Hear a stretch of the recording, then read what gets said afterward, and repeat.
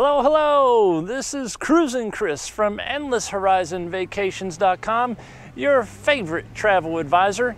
We are here on location at the Greenville, South Carolina airport, just back from the world's and nation's largest cruise conference, Cruise 360, and just wanted to talk briefly about uh, mask and testing requirements and all the cruise line startups. So we're going to talk about it up next.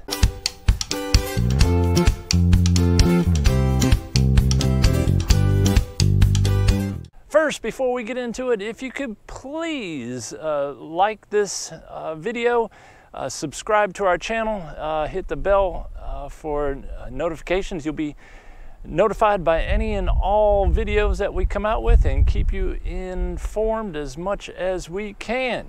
So ladies and gentlemen, like I said, I just got back from the nation's largest cruise conference, Cruise 360 down in Miami, Florida, and I've got to say how exciting that was to see all the cruise lines, even uh, the smaller, uh, even the river cruise lines, so, so excited to get back to service. Uh, they are all get, uh, getting ready and uh, getting everything together so they can put passengers on all of their ships by the end of the year, but very safely. Uh, that was the number one concern of every cruise line that I spoke to this past week. doing it properly, safely for all their passengers was top of, top of the list. Uh, that was a number one that they were all focused on, and I truly believe uh, they are going to be successful in doing that. So, with gathering all the information from all the cruise lines, uh, going through all the seminars, talking to all of our managers and representatives, which each cruise line I am just so excited uh, to be in the industry and to help you out and inform you as our client of the right cruise line and the right ship uh, to take uh, for you and your group. We were actually able, when we were down there in Miami, uh, to take a good look and see uh, the Royal Caribbean's uh, Symphony of the Seas, the Norwegian Gem, the Disney Wonder, uh, we got to see some fabulous ships down there, and it was fantastic to get that insight um, on uh, how they are getting those prepared for passengers in the next couple months.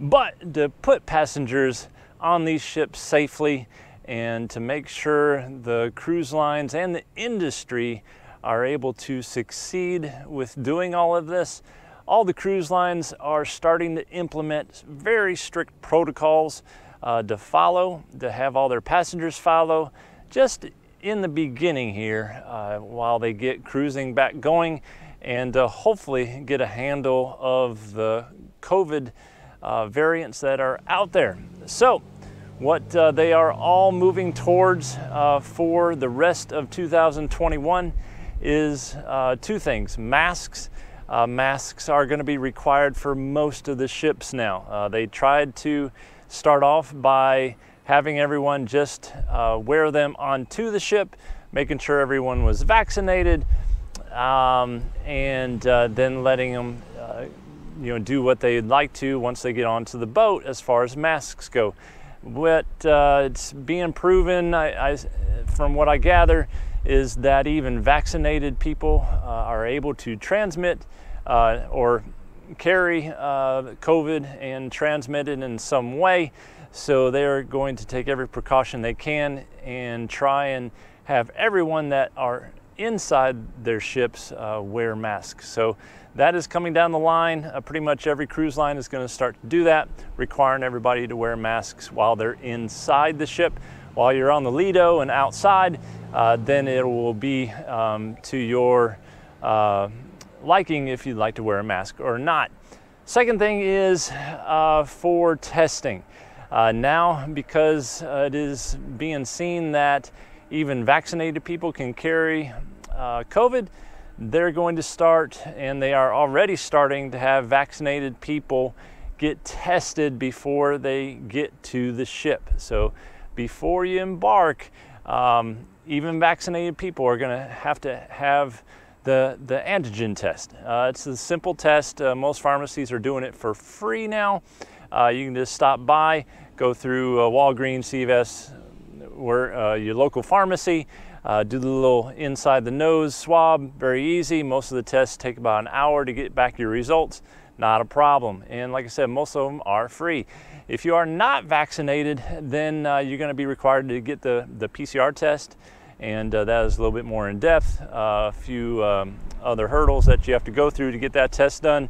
Um, and then uh, you have to be those 5% of people that they're letting on the boats that are not vaccinated. Um, most of the boats now, uh, most of the ships, they're letting um, just 5% of the passengers not be vaccinated. So uh, some of the ships even are, are just going with a 100% vaccinated uh, passengers and um, trying to, to get through this COVID uh, turn of times that is going on right now.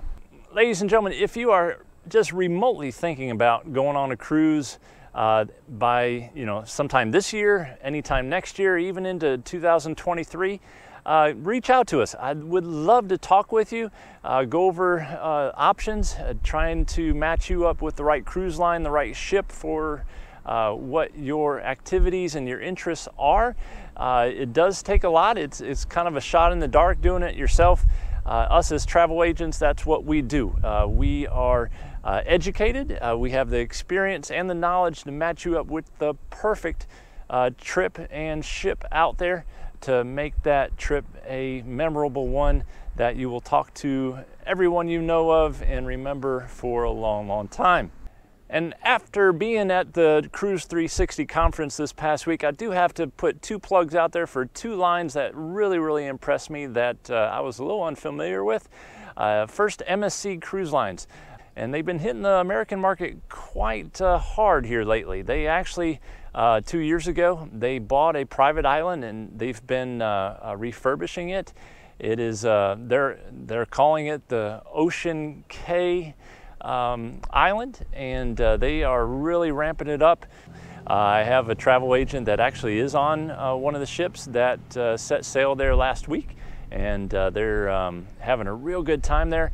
MSC. They do it upright. They're in between a Carnival and Royal Caribbean line and uh, they are uh, ready to set sail and put you on that cruise line. The other cruise line I was so impressed with is a, a smaller cruise line called Windstar. Windstar. I was so impressed with the representative there and everything he had to say about the line. Uh, they only have six ships in their line, but they are a US USA brand and uh, they do a lot of USA trips, so whether it be to Alaska, down to the Caribbean, uh, their itineraries are superb. Uh, they are a smaller line, so if you don't want the masses on your ship, uh, they travel anywhere on their ships, anywhere from 100 to 200 people.